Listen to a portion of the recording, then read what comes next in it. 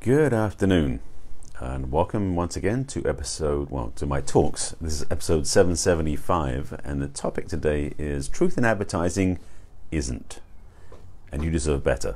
And I'll explain more about that in a moment. Before I do jump into the topic today, let me introduce myself so you know who I am and why I do these talks. Um, if you haven't seen my broadcast before, my name is Barry Selby. It should be somewhere around this title somewhere.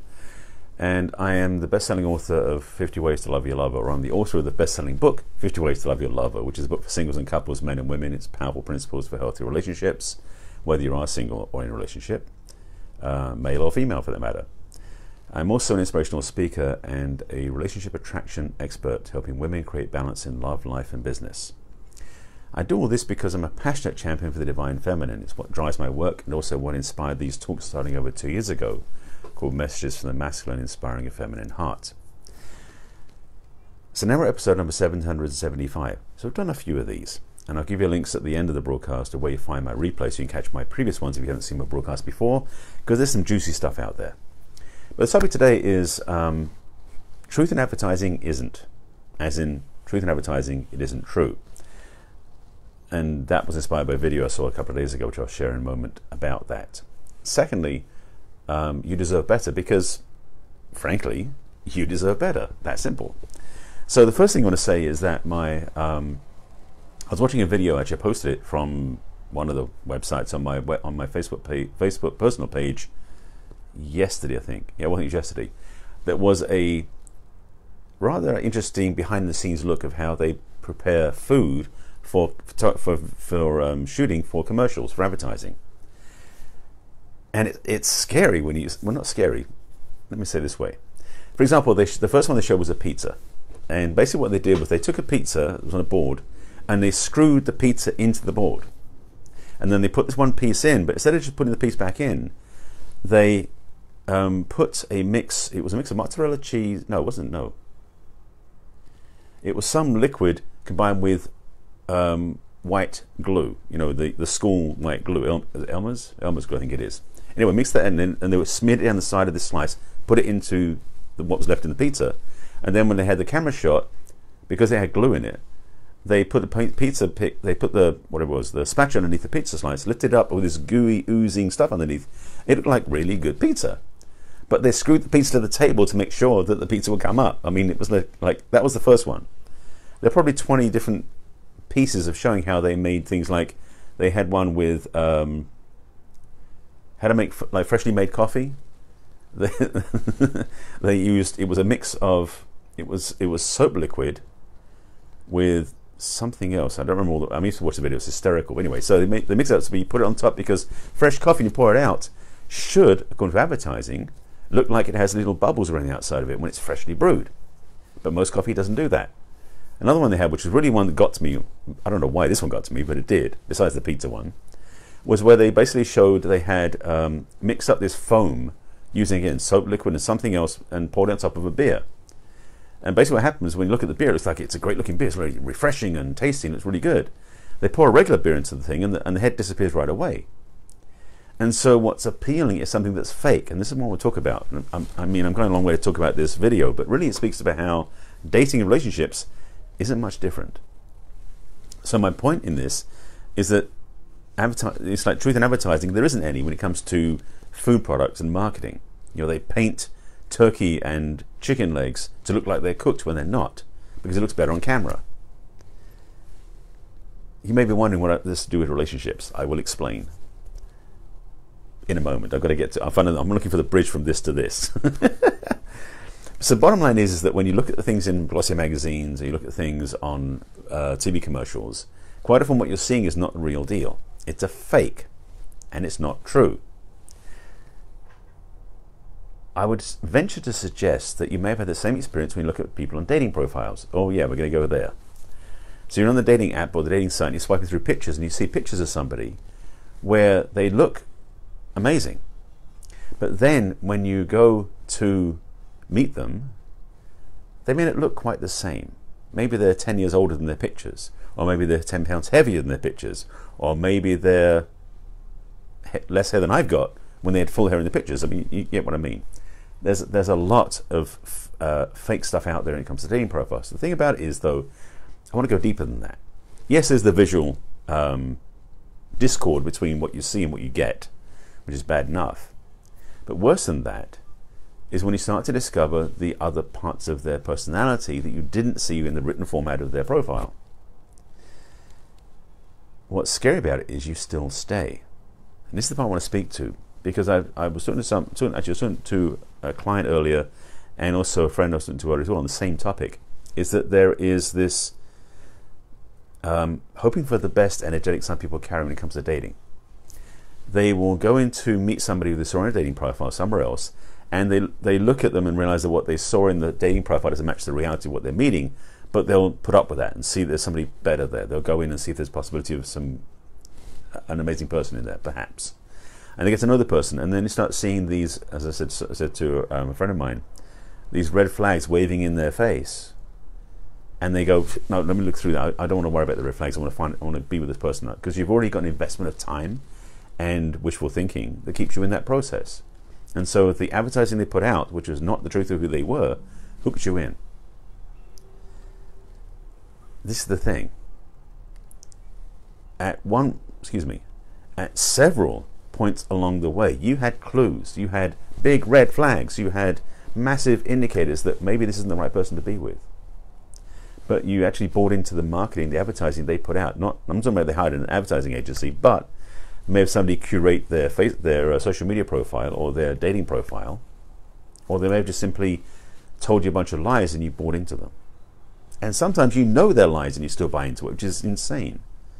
But let me speak to a couple of things where I think, which maybe, which I believe might be what's causing this. One, you were holding out for possibility that, that what was marketed was in fact true when it is no way it's going to be that way, but you have this vision for that, one of those things. Secondly, and perhaps more relevantly, you're hoping against hope that you're going to get what you want. And this is the fallacy that people fall into a lot. Let me see the third one before I go there. Um, three? What's number three? There's a number three. Oh, by the way, if you haven't seen my broadcasts before, they're never scripted. as you can tell, I'm not planning ahead. This is coming through as it comes through. Um, oh, number three, there we go. Knew there's another one in there. Is perhaps you feel you don't deserve anything better than what you're getting. That's kind of tied together number two as well, but the different aspects, the same thing. So let me just take that piece apart for a second. When you have the chance to look back at your past relationships, and I would look at several, not just one, but probably a few of them, and I've been down this path before, so I'm going to try a different way of talking about this. Where you feel some familiar experience. Where this relationship, even though it doesn't match what you really want and you're putting up with stuff you know is a lie, it feels somehow familiar. That's not a good sign, by the way. Familiarity, is one of the quotes says, familiar, familiar try it again. Familiarity breeds contempt, they say. And that's one of those things that people don't realize is that literally when you become more familiar, you start to have less and less trust. You feel more contemptuous of what's happening. But for some people in relationships, they never get to that point because they keep holding out and hoping and hoping and hoping that the familiarity, familiarity will be safer. And that's one of those things that people do is they look for a safety which is tied to what they feel like is a childhood myth. I'm going all over the place with this. I'm attempting to make the same point I've made many times before, but maybe it'll land differently for you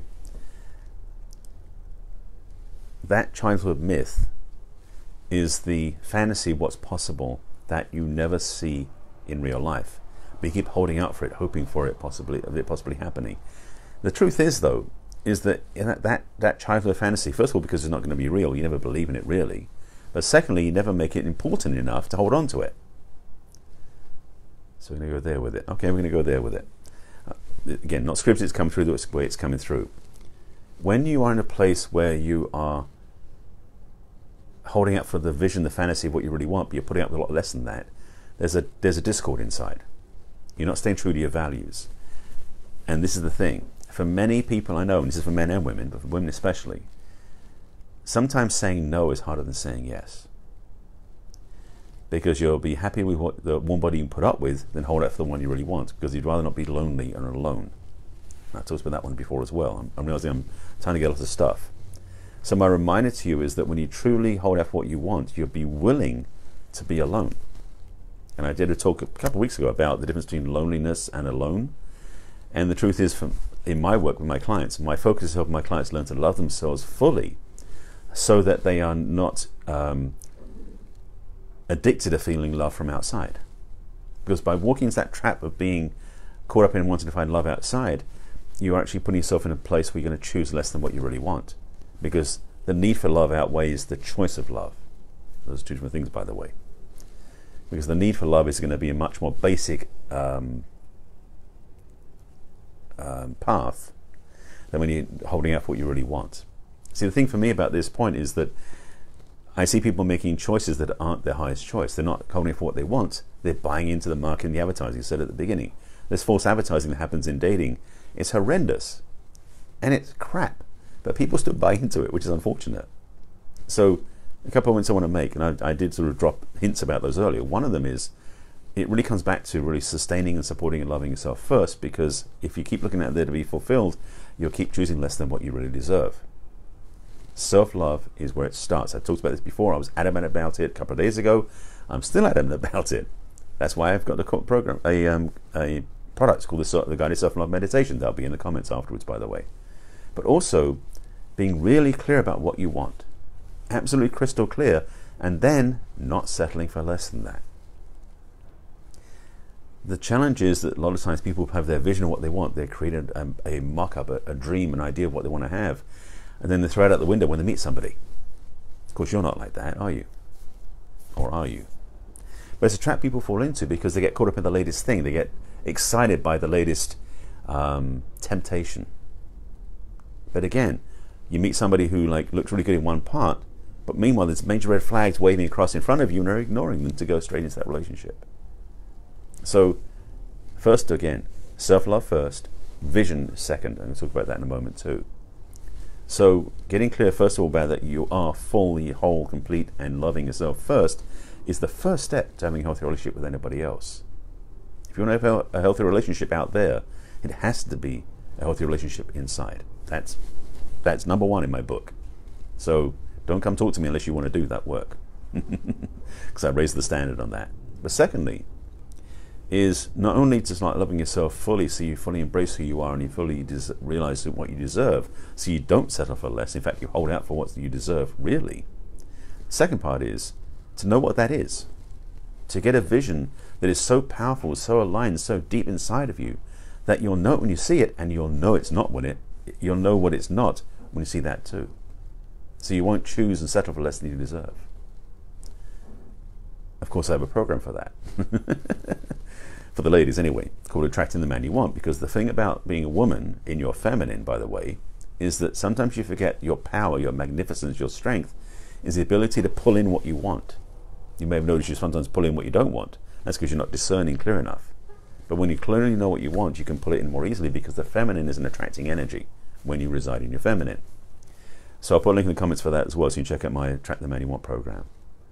But my work is really about helping my clients, again, mostly women, Remember to stand in their truth, to love who they are, so they can be deserving and aligned to their true values, so they can get what they want, they can get what they deserve, and they can hold out because they know they love themselves fully enough to not settle for anything less than that. It sounds simple, I know.